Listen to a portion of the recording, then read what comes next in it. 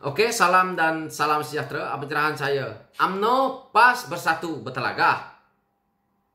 Pilihan raya di EP disalahkan. Ini yang kita lihat hari ini.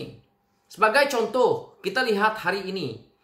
Pemimpin bersatu dan pemimpin AMNO bertelagah. Yang mana mereka mengatakan parti mereka masing-masing baik. Saling menyalahkan. Tetapi jawatan-jawatan dalam kerajaan sesama mereka tetap mereka terima. Ini jelas bahwa pemimpin-pemimpin mereka ini hanya gila dengan jawatan. Karena jawatan itu ada kuasa yang mana di situ juga adalah benefit lain eh, seperti tender project, peruntukan yang ada dan gaji yang besar. Ini saja matlamat mereka untuk menjadi pemimpin negara ini.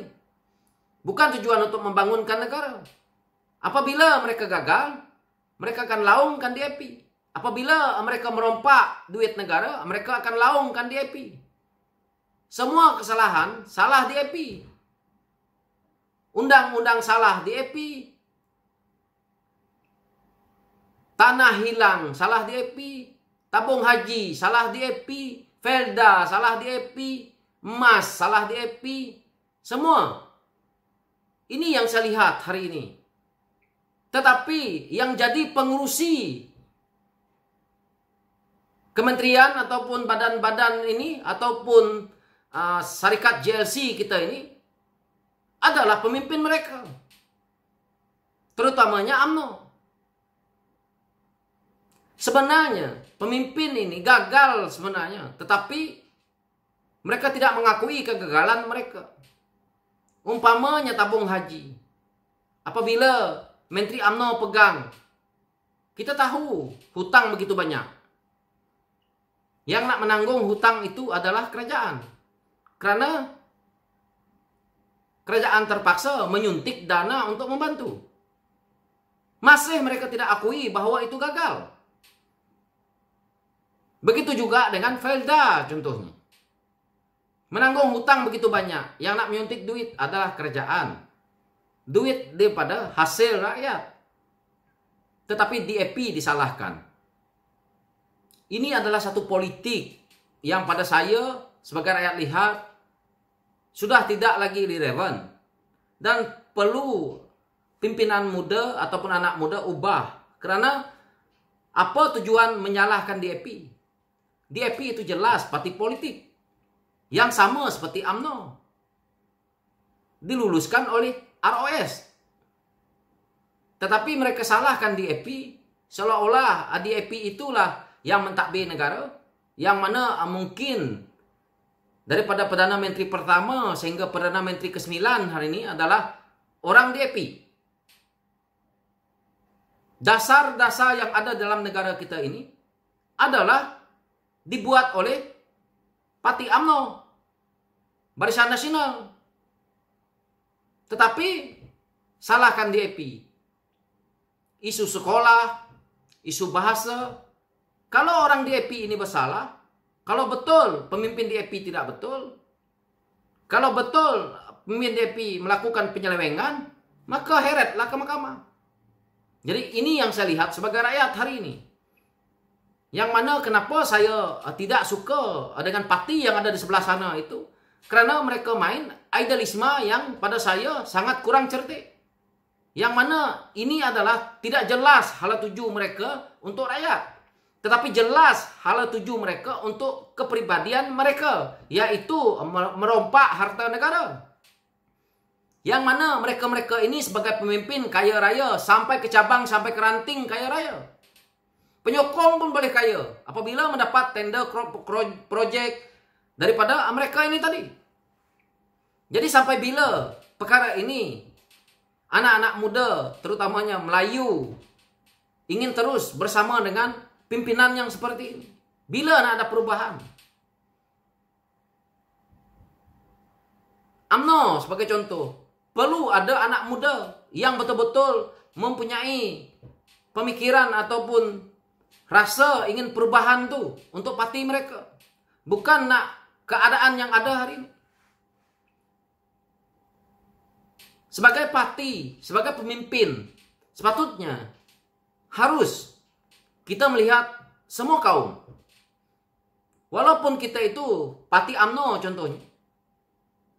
Memang parti untuk orang Melayu, tetapi kita harus berjiwa memimpin untuk semua kaum. Karena satu masa kita akan menjadi pemimpin seperti mana yang ada di pusat. Kita tidak boleh uh, melihat kepada kaum kita saja. Kita harus melihat seluruh kaum. Karena kita akan memimpin negara kita. Tetapi kalau idealisme, ideologi yang ditanamkan hari ini untuk perkauman, maka satu masa perpecahan itu akan berlaku. Perpecahan itu berlaku apabila Sabah dan Sarawak mengikut lunas perjanjian ME 63, maka generasi akan datang Sabah Sarawak, generasi seperti saya ini akan faham isu-isu ini yang mana kita tidak boleh menipu lagi dan boleh saja menarik sokongan untuk bergabung dengan Malaysia yang ada hari ini. Bila saya kata seperti ini, maka ramai pula terutamanya anak-anak Melayu yang ada di Semenanjung akan mengatakan Sabah Sarawak nak keluar keluarlah. Ini yang selalu saya dengar. Tetapi tanpa hasil bumi, minyak yang ada Petronas kita yang ada tuh menggali hasil bumi Sarawak dan Sabah, maka tak ada. Pembangunan yang ada di Semenanjung itu awalnya banyak menggunakan hasil daripada bumi Sabah dan Sarawak. Jadi di sini saya lihat bahwa perlu ada perubahan yang mana kalau kita nih sayang negara kita daripada parti manapun kita tidak perlu lagi mengeluarkan perkara-perkara yang uh, seperti resis sangat. Yang mana mengatakan DAP itu uh, parti apabila memerintah uh, tidak memberi keistimewaan kepada uh, kaum Melayu contohnya. Ini adalah satu pembohongan pada saya. Karena yang berkuasa Perdana Menterinya waktu itu pun Melayu. Tun. Menteri-menteri pun rata-ratanya pun Melayu. Jadi pada saya isu-isu ini adalah satu propaganda yang mereka mainkan. Jika dihujahkan dengan betul, mereka ini tidak berani ke depan untuk nak membicarakan isu-isu ini.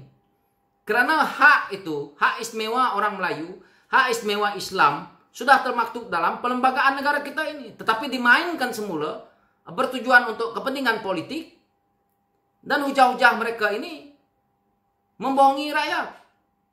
Kenapa nak dimainkan lagi? Ini yang berlaku di dalam negara kita ini yang mana saya lihat uh, petelagahan mereka nanti akan salahkan DAP. Begitu juga apabila mereka bertelagah bertelagah nanti yang selalu saya lihat mulalah salahkan negara jiran kita Singapura pula. Maka sebutlah Singapura ini keluar Malaysia gini-gini. Mereka yang sebut itu pun tidak paham. Sejarah betulnya mereka tidak nak tahu. Singapura itu punya hak untuk nak keluar.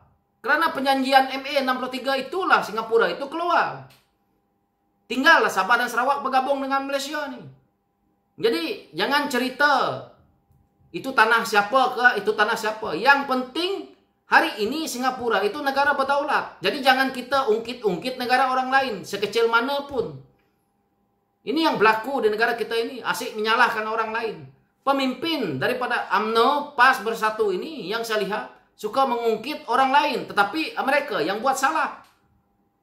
Mereka buat salah, salahkan orang lain. Mereka yang rompak duit negara, mereka yang lakukan utang negara, salahkan orang lain. Ini nanti, kalau kerajaan yang ada hari ini, PRU ke-15 tumbang, maka kerajaan baru akan ganti, mereka akan salahkan kerajaan baru. Tetapi hutang yang ada hari ini adalah daripada hasil mereka. Hutang yang ditanggung oleh PHS adalah daripada kerja pemimpin AMNO dan Barisan Nasional. Jadi ini hakikat. Jadi inilah yang mereka mainkan apabila nak pilihan raya semua orang disalahkan. Amerika saja yang betul. Jadi ini adalah pencaturan politik mereka untuk kepentingan pribadi, bukan untuk rakyat. Sebab itulah negara kita ini sekarang ini parah seperti ini karena pemimpin rakus ini. So inilah pencerahan saya berkenaan dengan isu ini. Sekian, terima kasih.